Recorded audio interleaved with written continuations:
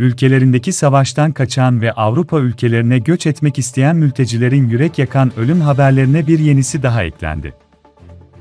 Uluslararası Mülteci Hakları Derneği'nin sosyal medya hesabından paylaşılan videoda, İtalya'ya gitmeye çalışan Suriyeli bir ailenin dramı yer aldı.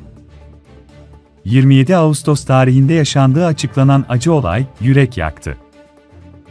Görüntülerde göçmen ailenin, susuzluktan ölen çocuklarını kefenleyip dualarla denize attıkları anları yer aldı. Ceyhan'dan dış basına yansıyan haberlerde, botun Akdeniz'de mahsur kaldığı ve göçmenlerin yetkililerden yardım beklediği bilgisi de edinildi.